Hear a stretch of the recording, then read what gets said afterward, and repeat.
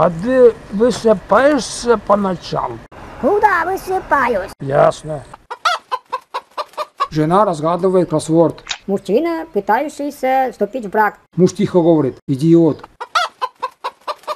А вот почему после того, как хорошенько покушаешь, хочется спать. Потому что полный живот тянет кожу и глаза закрываются. Ребенок поздравляет бабушку с днем рождения. Бабушка, поздравляю тебя с днем рождения.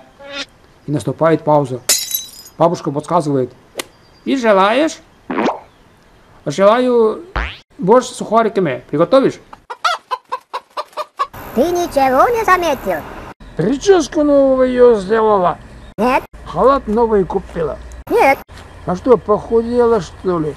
Ты забыл поздравить меня с днем рождения?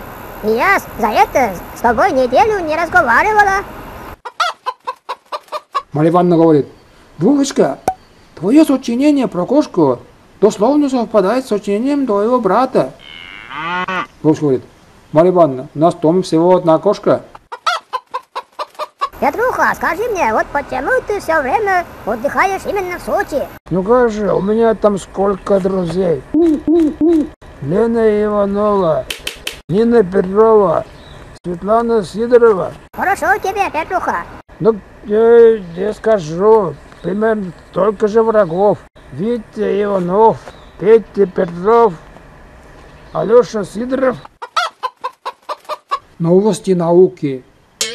В Индонезии в возрасте 146 лет умер Мбго Мхако, человек с самой большой опиской в паспорте.